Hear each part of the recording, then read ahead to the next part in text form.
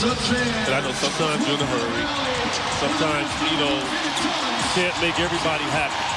But just make 99% of the people happy by just acknowledging it, you know? Because they walk away with a feeling that you just wouldn't believe. Sort of like you felt when you first met me.